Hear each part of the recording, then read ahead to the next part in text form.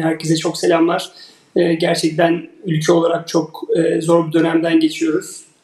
Ee, tabii bizim için çok önemli bir galibiyetti. Özellikle e, daha önce tarihimizde bir kez çıkmıştık birinci gruba.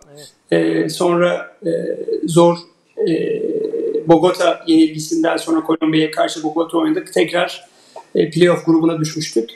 E, tekrar birinci grupta olmak çok güzel. Sonuçta e, birinci grup demek yani hemen hemen ortalama dünyanın en iyi 30 ülkesi arasında 30-35 ülkesi arasında yer alıyorsunuz anlamına geliyor.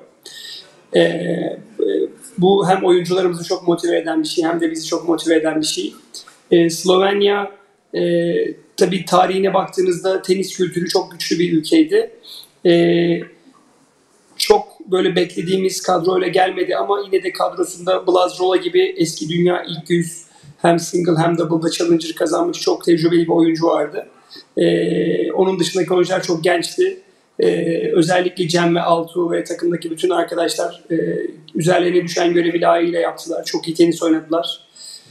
Oynadığımız tenis kadar atmosfer inanılmazdı. Gerçekten e, her iki günde de bine yakın seyirci vardı. E, bu çok oyuncular üzerinde çok pozitif yönde bir motivasyon oluşturdu.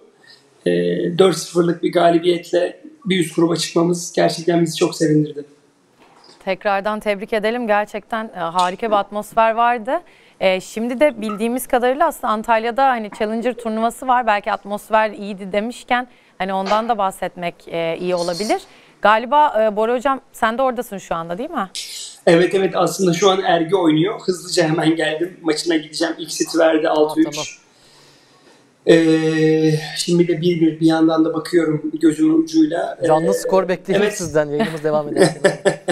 Evet. Ee, e, yani burada da tabii ki Türkiye'de böyle organizasyonların yapılması gerçekten çok önemli.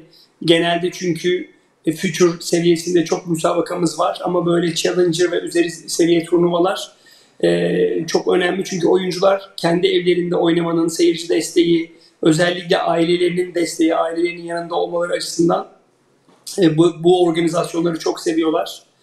E, buraya Altuğ ve Cem dışında hemen hemen bütün oyuncularımız katıldı. E, Altuğ ve Cem de şu an e, Lugano'dalar. Onlar indoor hard e, oynuyorlar. E, sert zeminde. E, şu an hedefler e, Roland Garros her ikisi için de. E, hem sıralama olarak çok yakınlar.